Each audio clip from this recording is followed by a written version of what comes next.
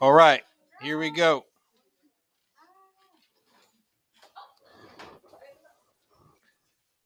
The resurrection, as I believe we talked about, I go over the bell ringer yesterday from 1 Corinthians 15. St. Paul says, if we Jesus didn't rise from the dead, we're wasting our time. You know, nothing matter, nothing of Jesus matters if he didn't rise from the dead. I'm going to further elaborate on the importance of it while as I describe the resurrection as I'll, I'll get to it as a historical and transcendent event.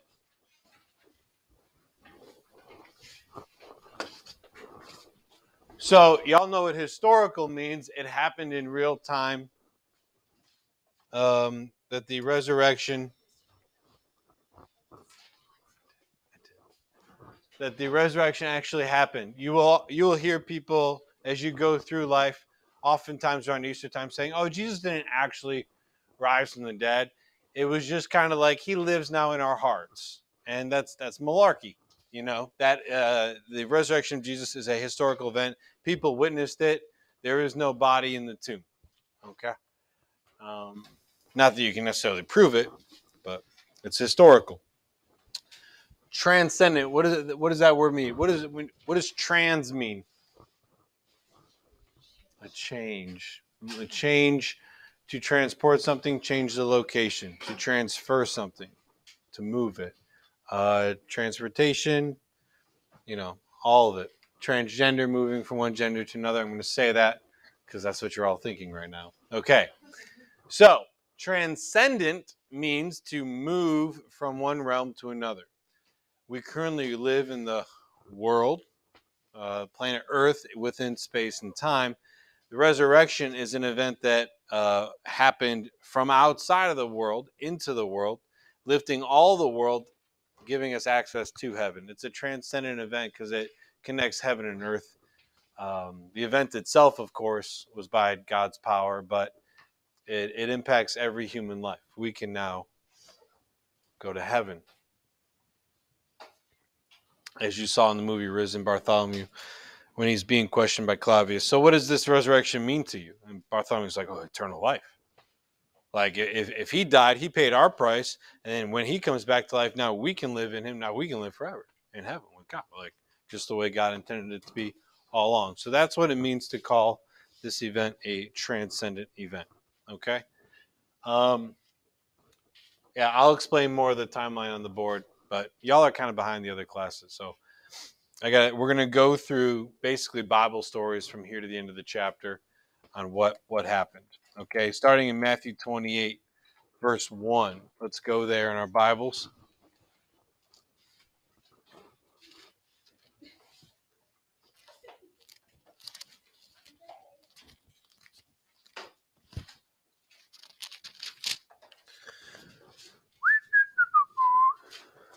Matthew 28.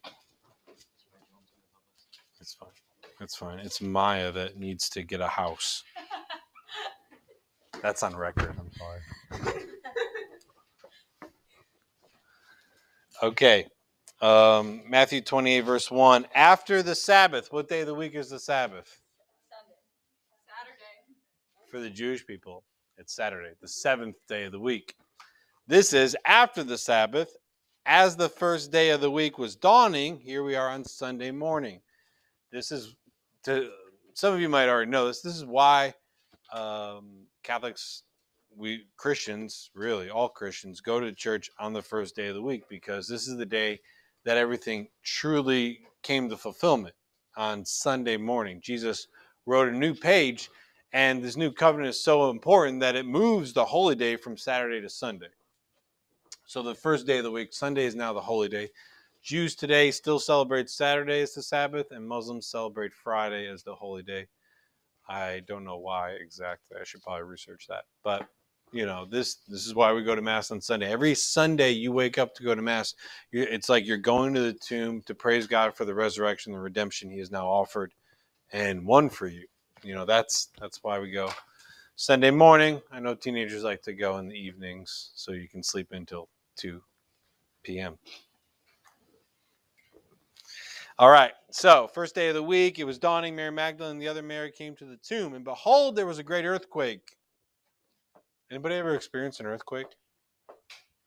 Where? Yeah.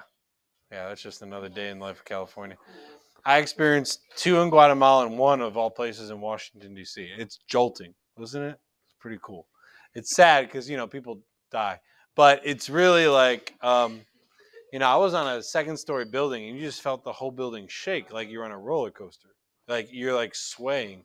Um, yeah. So, anyways, it's very jolting, and you're going to see um, extreme reactions from this earthquake. For the angel of the Lord descended from heaven, approached, rolled back the stone. This angel is jacked, and sat upon it.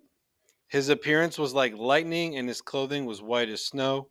The guards were shaken with fear of him and became like dead men.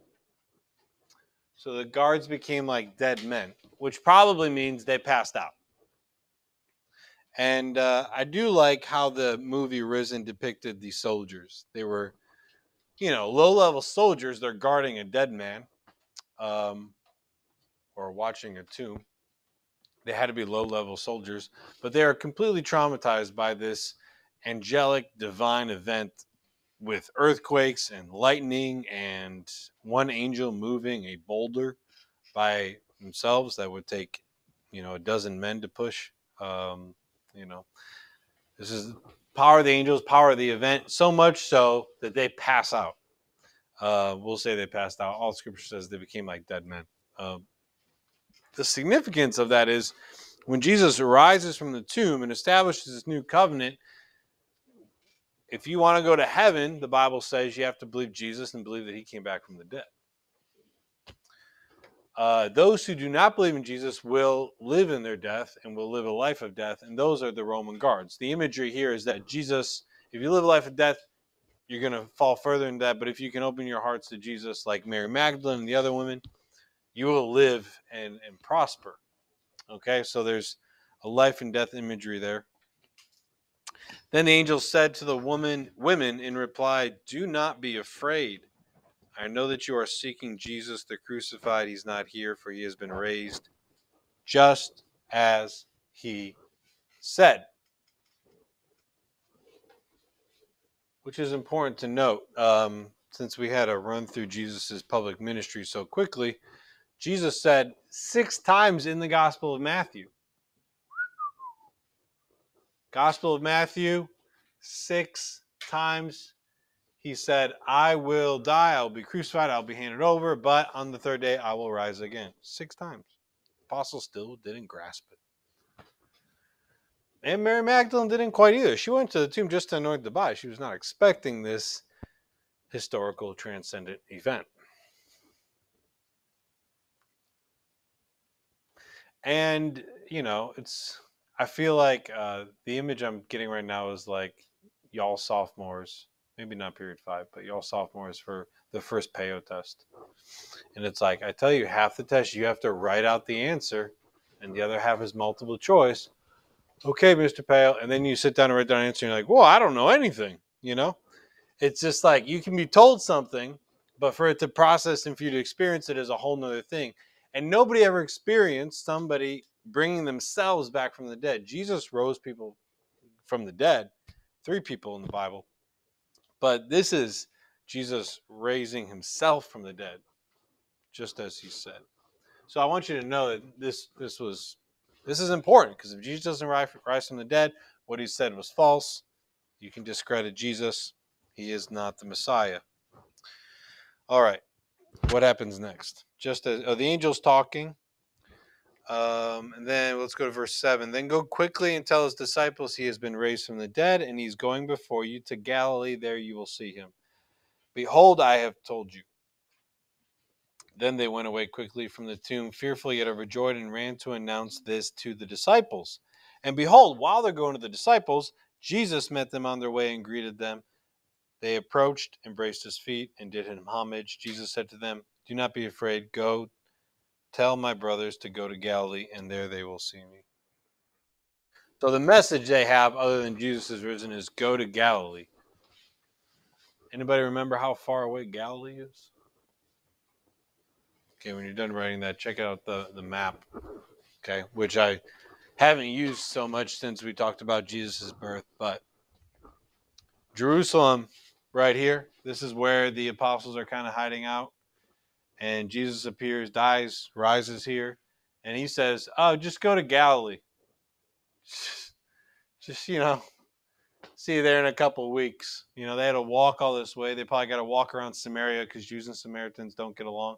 So they'd have to take the long way all the way back to not even just the southern tip, but as you saw in the movie, the Sea of Galilee is where they're going to see Jesus. And we're going to talk about that apparition in uh, lesson four of this chapter. But Jesus says, All right, I'll meet you back in Galilee.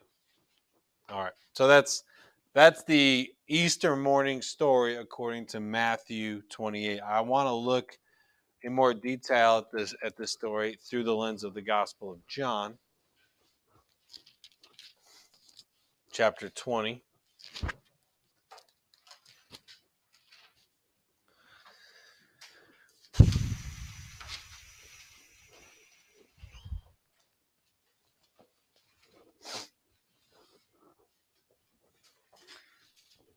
Did we talk about Mary Magdalene yet? Who was Mary Magdalene? What was her uh what was her profession? She was a prostitute. A woman of the night. She wasn't? What?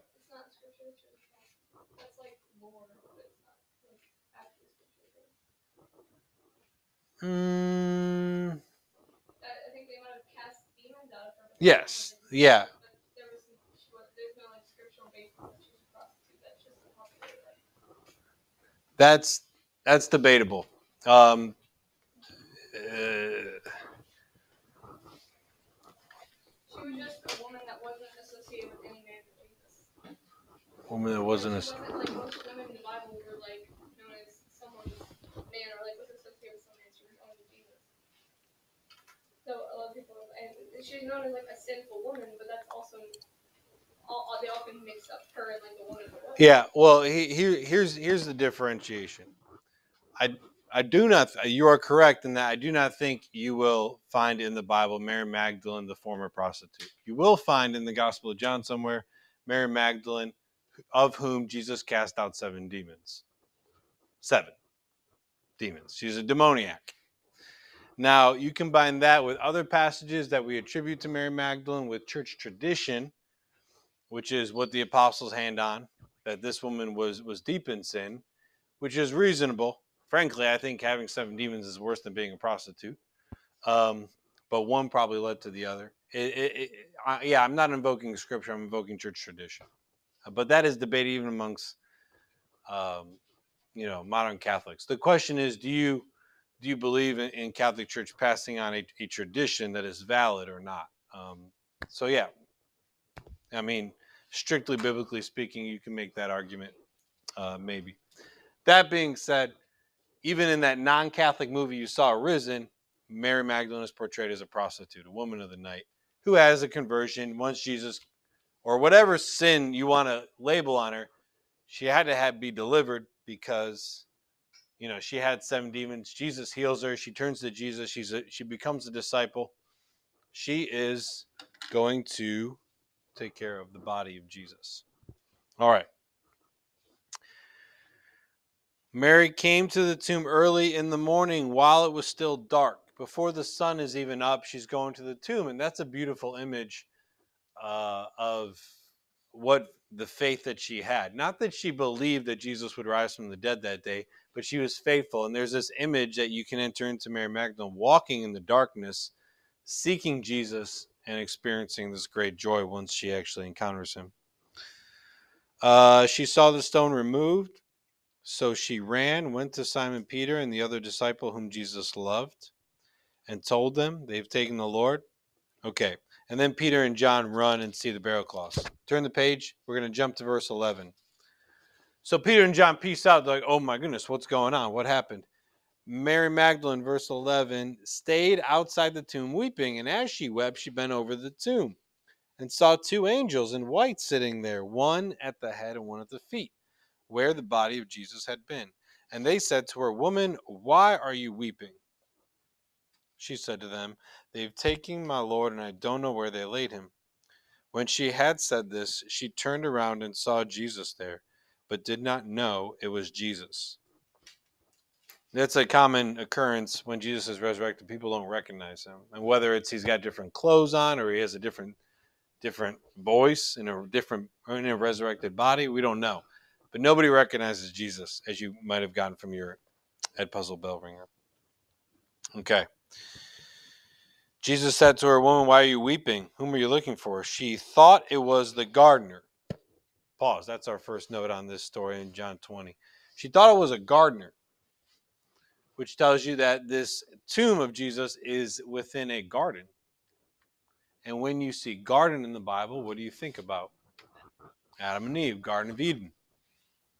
And that is, you can always trace every garden imagery. We had one last chapter, Jesus in the Garden of Gethsemane. He goes into the garden to pray to begin the redemption process, to fix the sin of Adam and Eve. Here, Jesus rises in a garden, actually looks like a gardener, which is what Adam had the job of, tilling and keeping the soil. He appears as the new Adam, the redeemed humanity, but he's not with his mother Mary, who we know is the new Eve, and, I'll teach you later in the year a model of the church. He's with Mary Magdalene, who everybody knows has a sinful past, who was a demoniac. You know, so the, the imagery here is um, Jesus, the bridegroom, really taking his taking his you know sinful church and and, and kind of guiding them guiding us towards heaven. It's a beautiful image, you know, of mercy. So it's in a garden with a man and a woman, but it's a different image here. It's, it's an image of redemption. Okay, and, G, and she's going to get really excited. Jesus is going to say her name, and that's going to spark her recognition. Verse 16. Jesus said to her, Mary. She turned and said to him in Hebrew, Rabboni, which means teacher. Jesus said to her, Stop holding on to me, for I have not yet ascended to the Father, but go to my brothers and tell them, I am going to my Father and your Father, to my God and to your God. So he says, Don't hold on to me. Um, and, and all we mean by that, all that the way Catholics read the Bible, is that Jesus simply saying, I'm not here to stay. Do not get too comfortable with me here. Do not cling to me, is another translation, because I got to go back to the Father. I'm going to heaven. I have to go prepare a place some people, oh, and by some I mean unfortunately, a lot of people look at this verse and say, "Ooh, Mary Magdalene and Jesus had some relations." Some people say they were married. People say they just had sexual relations. A lot of a lot of bogus stuff out there. I was taught that in high school. That's when I was like, okay, the world needs better high school religion teachers. It's simply that Jesus is saying, don't don't cling to me. I'm not here to stay. You know. Don't get used to this. But instead, go to my apostles, tell them I'm risen, tell them to go to Galilee. And this is, um, it shows the importance of women, how Jesus exalted the role of women, whether it be his own mother, who is the new Eve, or Mary Magdalene, who was a demoniac, probably a prostitute. Yes, Maya? In this story, all we have is Peter and John running to an empty tomb and then running back. So they are here for like this part? No. Oh. No. Like guys, they're like, okay, what are we gonna do? I don't know. And then Mary's just weeping. You know, it's just everybody's a mess. Yeah. These are the people Jesus picked. All right. So one thing, and then I'll call on Gracie. Mary Magdalene has been given this a title. She is the apostle to the apostles. The word apostle means one who is sent. So Mary is sent to those who are sent into the world to proclaim the good news. So she was the first one to proclaim the good news of the resurrection. Unfortunately, she was not well received. I mean, she wasn't like shunned, but they didn't quite believe her. Gracie?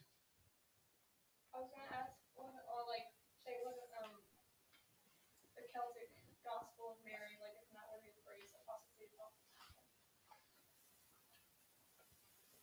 Not familiar. You could research it. Um, I don't know the origin of that title. No, I don't know. You could be right. Okay. Um, either way, it just shows the, the value of Mary Magdalene, the importance, um, how Jesus exalted the role of women. Um, and it's once again a beautiful image of mercy, as I've already mentioned. So that is lesson one. I'm not done, but that's lesson one right here. You got Jesus with his with his hoe, you know, working in the garden.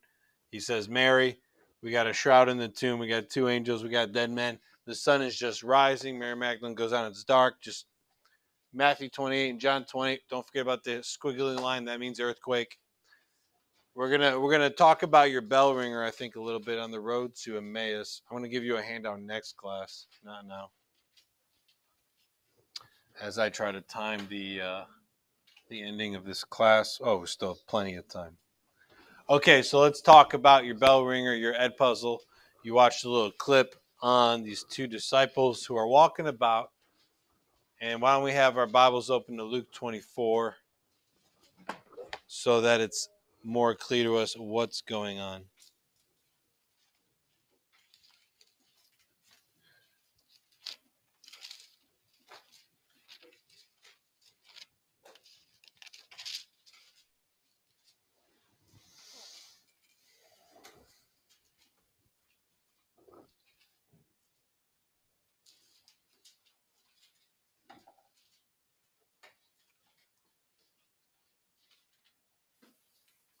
Now, this is still Easter Sunday morning.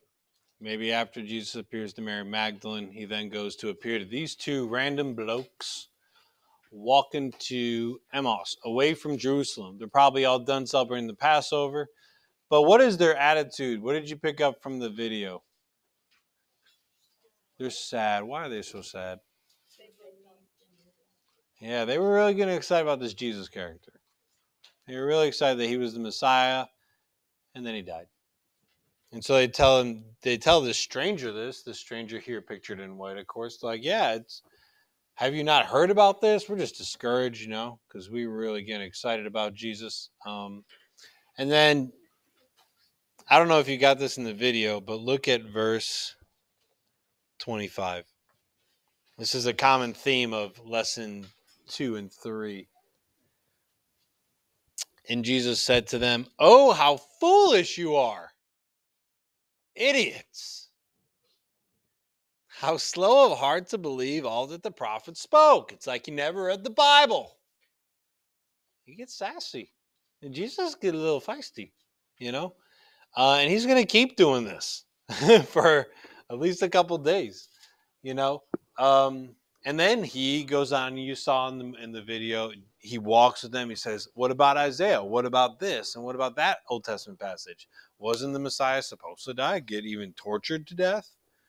And in doing so, that torture will redeem Israel. oh, yeah. Oh, yeah. We forgot about those passages. We really like the ones about the kingdom and the, the power of God. And Jesus is like, Well, yeah, you got to read it all together. So they keep on walking, and, and then they're ready to split. And uh, Jesus is like, All right, peace out. Now, they don't know it's Jesus, so you got to keep that in mind. And they say, Oh, no, stay with us. We really enjoy talking to you, so why don't you come eat with us? And he says, All right.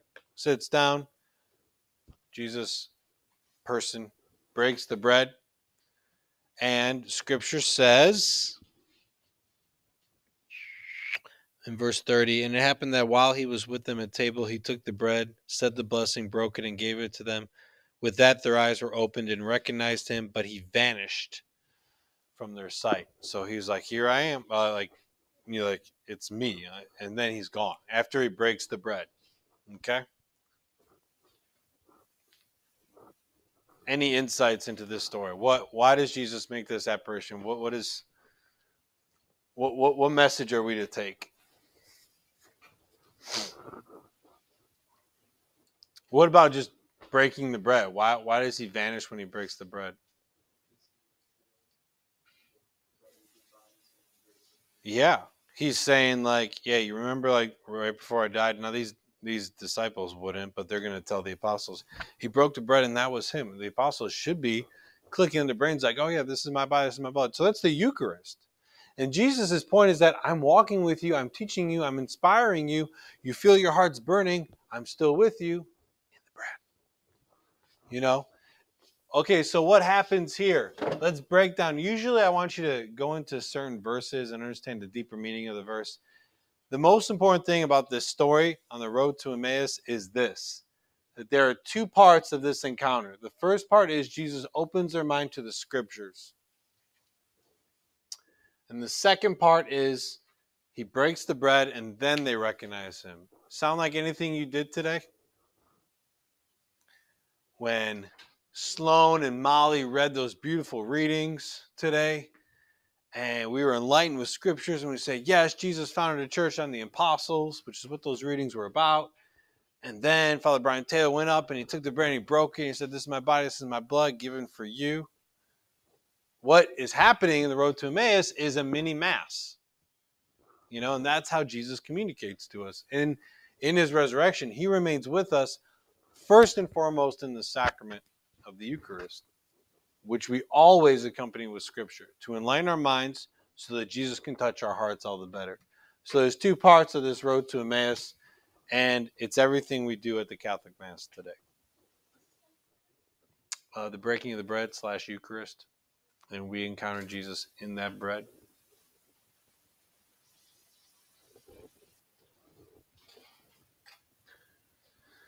So these disciples are going to get jacked up so excited for obvious reasons, and they run to the apostles.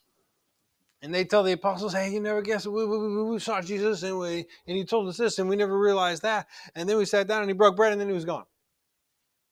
The apostles like, oh boy, another crazy story.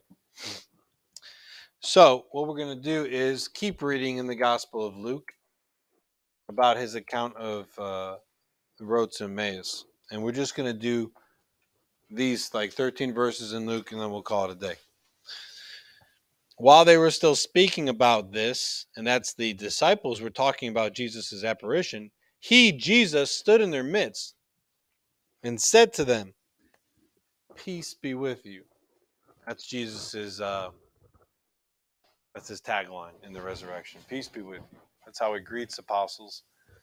Um, I'll explain the significance of that phrase to you next class. Peace to you. Okay. Uh, it's also uh, Jesus just appears. He doesn't knock on the door. He doesn't walk and says, "Here's Jesus." No, he just whoosh, resurrected body. He's got. He just appears, showing them that he is um, divine, transcendent, all the above, to help them recognize that he is he is the new the new man. Then he said to them, Why are you troubled? Why, why, why are you acting all surprised, y'all? If Jesus was Cajun, that's what he might have said. And then he said, And why do questions arise in your hearts? Why is this news to you? Why does this surprise you? Look at my hands and my feet, that it is I myself. Touch me and see, because a ghost doesn't have flesh and bones, as you can see I have. So he's fussing at him. He's like, Come on, y'all, get with the program. I talked to you for like three years about this. Um, I was hoping for a little bit more. So he is going to rebuke them. And then he says, You want to see how real I am? That my body actually rose from the dead, like I said? Give me some food. Touch my wounds. The wounds Jesus keeps. He keeps the wounds because it's those wounds that he will present to the Father and basically say, I have redeemed them. I have I have died for them. I, I hung for them. I was pierced for them. And so it's those wounds that he keeps to basically allow us to get in heaven. Through his wounds, we are healed.